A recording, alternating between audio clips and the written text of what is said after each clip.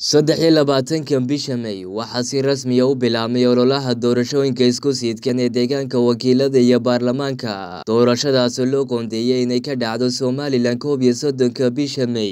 Haddaba labada musharax ee kala ah Yaasiin Xasan Cabdilaahi iyo Cabdilaahi Maxamed Rooble oo ka qaybgelaya doorashooyinka isku sidkan.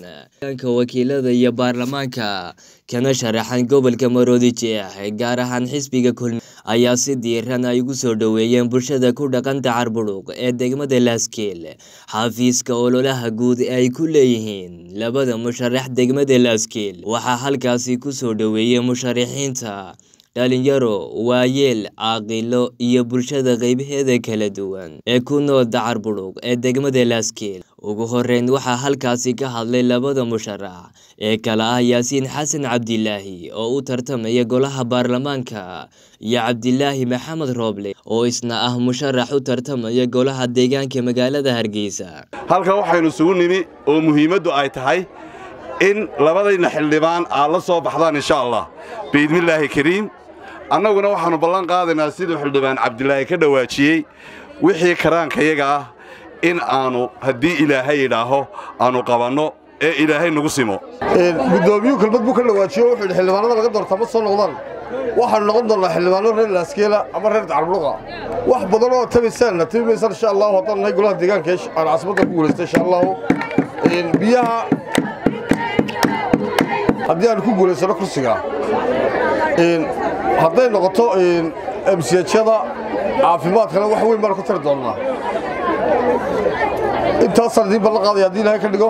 Dhanka kale halkaasi waxaa ka hadlay caaqil rashiid oo isna hadal dardaarana u soo jeediyey bulshadan ku dhaqan Dacar Budug wada ogsoon tihiin halkan waxa aynu ku soo dhoweynay annana aanu gelbinaynay idinkuna ku soo dhowayseen labada xildhibaan ee gobolka maroodijeex iyo degmada hargeysa inooga sharaxan haddaynu nahay deegaanka laasgeel ee caasimadda u tahay ma magaalo madaxdu magaaladaynu joognay dacar budug ka u horreeya waxa weeye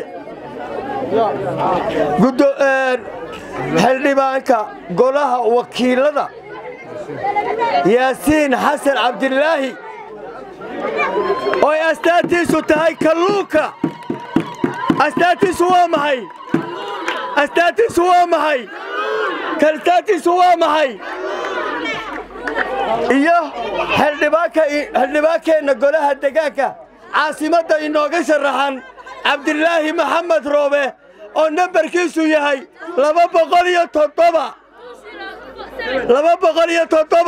sidoo kale halkaasna waxaa ka hadlay cabdiraxmaan cali cabdilaahi oo isna ku hadlaya afka dhallinyarada labada musharax ka socotay. Labadaa xildhibaan ee cabdilaahi maxamed rooble oo astaantiisu tahay amba oo astaantaa ah laba boqol iyo toddoba.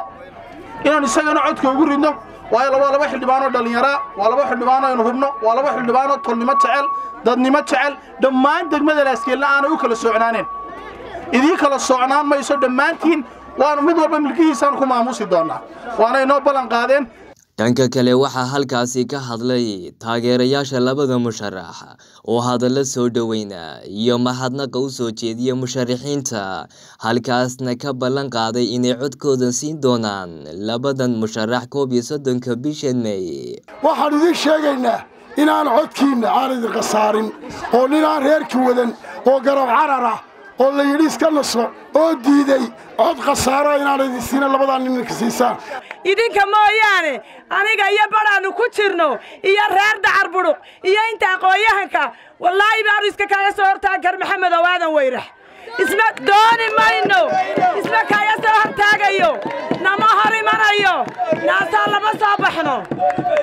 Waxay noo ballana waxa weeyaan idinkuna ilaahay wuu idinku guulaynayaa ilaahay wuu idin soo saarayaa insha allaahu bismillaahi kariim. Waa khaalid maxamuud ibraahim telefishinka caalamiga ee gobonnimo t v. Dacar budhuq ee degmada laaskiil